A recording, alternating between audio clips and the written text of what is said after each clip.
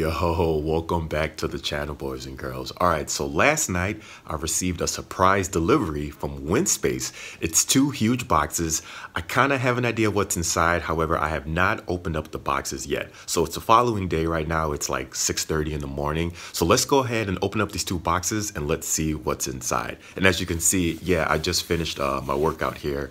Um, I was doing a, a group ride. It was a B race and yeah, I got dropped like 20 minutes in, so that's always fun. But let's go take a look in these boxes. Here.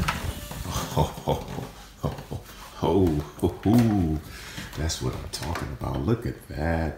Yes, that's right. Yeah. Uh, got some other stuff also in the mail, but that will be a video for another day. And this is all the other uh, stuff I had. This is basically my uh, bike storage here. I got some uh, my old uh, wheels for my Allez Sprint, uh, the Hypers there. Got some other stuff too as well. All right, so let's get these boxes open. Let's see what's crap.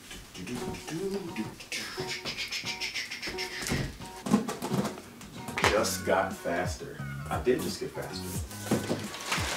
Yes, yes, sir. Some water bottles, which is pretty cool. Yo, that is sick. That is sick. Look at that. That's pretty sweet. That's pretty sweet. All right. And of course, we have our integrated handlebar. Ooh, I'm pretty excited. Yo, this is wicked. I did it. I did it, guys. I finally made a deal with the cycling Illuminati to move over from rim brakes to disc brakes. I'm gonna lose all my friends, probably lose my wife, probably lose all my followers on Instagram. No one's gonna want to ride with me on the road. Come at my neck, and I don't understand maybe what for all it the is and why you dentists guys so and barristers out there. With your egos or your I don't know what I'm gonna do, guys. I'm gonna explain this yet again. I took a L today. Yo, welcome back to the channel, boys and girls. In today's video, we are doing an unboxing and first impression of WinSpace's T1500 Aero frame set, as well as their Hyper 65 wheel set in the disc brake version. Now, full disclosure, WinSpace and I did come to an agreement to send out the frame set and wheels for the sake of my reviews, as well as all subsequent videos on WinSpace. But more on that a little bit later.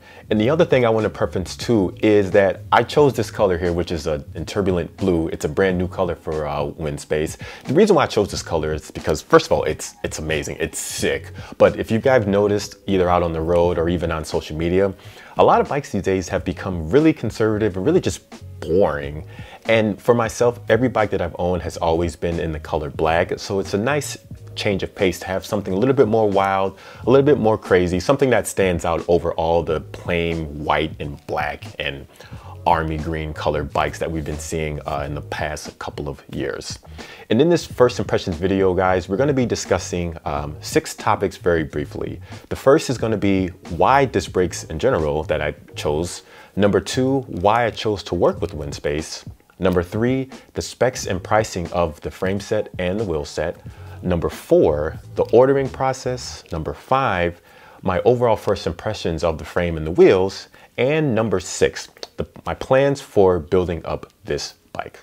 So starting with topic number one, why disc brakes? So I already know you guys are gonna be roasting me forever in the comments section here because I've always been a big advocate of, you know, rim brakes for life. So I already know now that all the trolls and all the haters are gonna be tapping, tapping on their on their computers. Hey bro, you you said you get what I'm trying to get at. So, but I wanna say that I wanted to challenge myself in building a brand new bike. Um, if you guys have been following my channel for some time, you know that I've already built up two bikes at home completely by myself. And even though they both have been rim brake bikes, I want to keep challenging myself to continue to build more and more bikes and just build up my knowledge of, of how to deal with bikes like this one.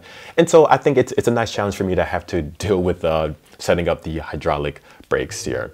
And let's be honest, if the future of bikes is disc brakes, then at some point I'm gonna have to jump on the bandwagon sooner or later. Point number two, two, why I chose to work with WinSpace. So I'm already an existing customer of WinSpace. As you guys know, um, I own a pair of their Hyper 65s, but in the rim brake version.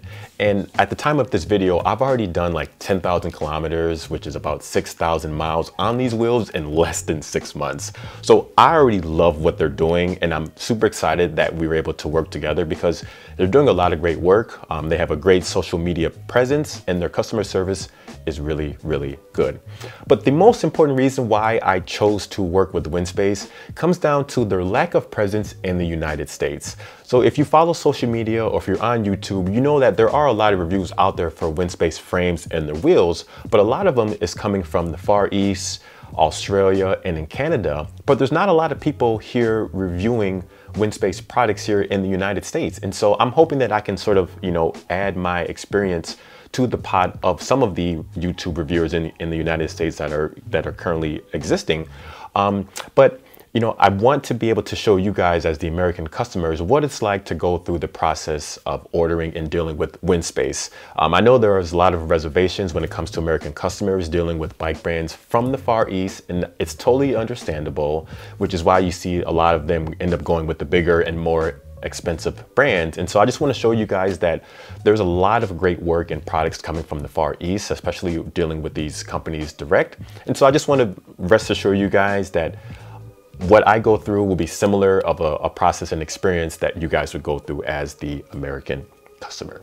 Now moving on to number three, the specs, pricing of the frame set and the wheel set. So starting with the frame set. So as I mentioned before, this is WinSpace's T1500 Aero frame set.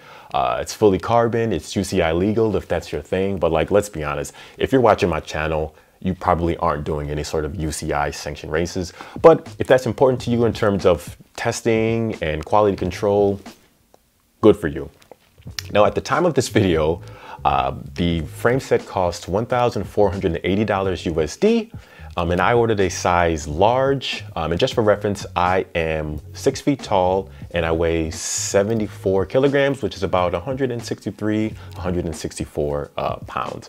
Now, why I chose the Aero frame set over some of their other offerings is because Chicago is flat as a pancake, like flat, flat, flat. So Aero is everything around here. And even though I'm not the heaviest guy um, out there or the lightest guy, aerodynamics is very important to me.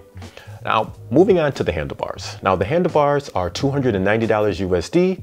Um, I went with a 400 millimeter width uh, bar with the 125 millimeter stem. Now, the handlebars are, of course, integrated, um, but that's just the specs that I went with. Now, the angle of the bars is negative uh, 10 degree angle and the reach is 75 millimeters. So yeah, I have long arms and long legs, short torso, so I need all the reach I can possibly get. It's gonna be interesting uh, having to deal with um, routing these cables through the integrated bars into uh, the steer tube. Now moving on uh, finally to the wheel set. This is, like I said, the Hyper uh, 65 wheel set. Um, they cost $1,200 uh, USD. Now, I've already done a full review on the rim brake version of these wheels. Um, I'll put a link in the description and up here, somewhere up here at some point. Um, but I've been using them on Allez Sprint for all these miles and kilometers, and I absolutely love them. I, I, I, there isn't more that I could say about how much I love them. I mean, they're they're aero, uh, they're super duper lightweight. They handle extremely well in the crosswinds. Even when you're going down um, hills at 45 miles an hour, there's no speed wobbles, ceramic bearings, all that good stuff, and at an amazing affordable price relative to other brands that they compete with. I love them, so I don't really have much to say on that. So we'll see how these do on the disc brake version, but yeah, the rim brake version, guys, awesome go get you a pair. Moving on to number four, the ordering process. Um, so what I did, which I would recommend to everyone out there, especially for American customers, is first off, um, go ahead and visit the website, um, check out a frame, a wheel set, or other accessories that you're interested in buying. From there, send an email directly to uh, WinSpace to make sure that what you're looking for is actually in stock. From there, you can uh, work with their customer service uh, team to make sure everything you want is in stock. From there, you can go ahead and make your purchase. Um, you can do it through PayPal or whatever means uh, works from you. And then a few days later, they'll package everything nice and tight and neat and they'll be on your way uh, to your home or wherever you want. Um, for me, shipping to Chicago, took about two weeks. um, since everything was in stock, which is really good considering how far it has uh, to travel. And when the box arrived, as you guys saw, everything was packaged very, very uh, nicely. The presentation was good. Um, they provided everything I needed for the bike build. Um, as well as the wheels. Um, it was nice to have the water bottle, so shout out to Winspace for those. I really, really appreciate that. And just uh, moving on to number five, guys, which is the overall first impressions of the wheels and uh, the frame. Now, I'm not any sort of carbon layup expert or engineer, so I couldn't even begin to tell you all the nuances when it comes to that. But from what I can tell so far is um, the paintwork is really, really uh, high quality. I would say it's it's right up there with um, the, the bigger brands that, that people know about. Um, there weren't any uh, random uh, sharp edges or any paint chips, anything that would make me um, suspect that there's an issue with the quality of the frame. Everything felt really, really good. Just everything just really sturdy and really consistent, which is what you want when you're dealing with uh, a bike brand that is competing with the likes of some of the bigger brands uh, out there. Now with the handlebars, they are extremely uh, stiff and they are a little bit heavy, but those are the things that you want when you're dealing with uh, an integrated handlebar set that you're gonna be using for sprinting or getting out of the saddle when you're uh, climbing up hills. So I'm fine with having them be a little bit heavy, knowing that I have that assurance and security that they're not gonna fail on me when I'm putting out mad watts because you know I put out whatever, that's a whole other story. And moving on, guys, finally to number six, which is my plans for building this bike. So let me know what you guys think in the comments down below. Um, I can either do a build series on this bike, which I've done before with my Allez Sprint. It is a lot of fun, um, but I've already kind of done that before. The only difference would be that I would be doing them with the hydraulic disc brakes rather than rim brake. The other option I thought about is maybe taking the frame set and the wheels and all my components to uh, a local bike shop here in my area and having the bike built up professionally while I go ahead and film the whole process, sort of like a dream build uh, bike video for the T1500. And anyone out there who's ever tried to build the bike and film at the same time, you know that it's extremely cumbersome and it's very, very time consuming. So my thought process was if I take it to a local bike shop and they can do the whole entire build in a single day while I film, I think I can get significantly better quality of video footage for you guys in a much more concise package of a video. But let me know what you think in the comments.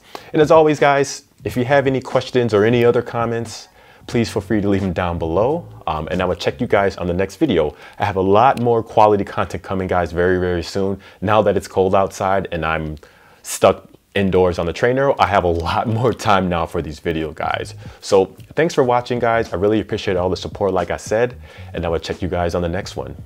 Peace. I, I can't believe this.